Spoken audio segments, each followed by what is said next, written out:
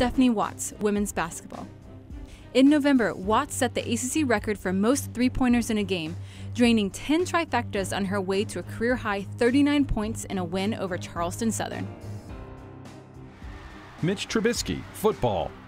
Starting all 13 games in his junior season, Trubisky set Carolina single season records with 30 touchdowns, more than 3,700 yards passing, and more than 4,000 yards of total offense.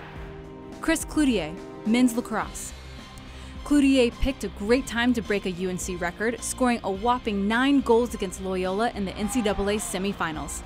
He then scored five more, including the game winner against Maryland in the national championship. Hellen Moffitt, swimming and diving. Moffitt set Carolina records in both the 100 yard butterfly and the 100 backstroke in the same day at the NCAA championships. Moffitt earned first team All America recognition in both events. Henry Campbell, swimming and diving. Campbell twice broke his own 500 yard freestyle school record at the ACC championships. The junior earned first team All ACC and honorable mention All American nods in the 500 free this season. Sydney Fields, volleyball.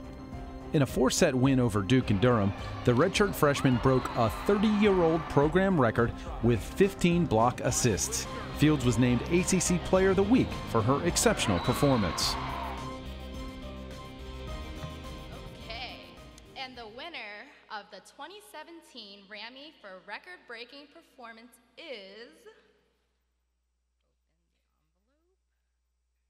Hellen Moffitt, swimming and diving. Hellen Moffitt set Carolina records in two different events in the NCAA championships, earning All-America recognition. Moffitt was a finalist in the 100-meter butterfly at the 2016 Olympic trials.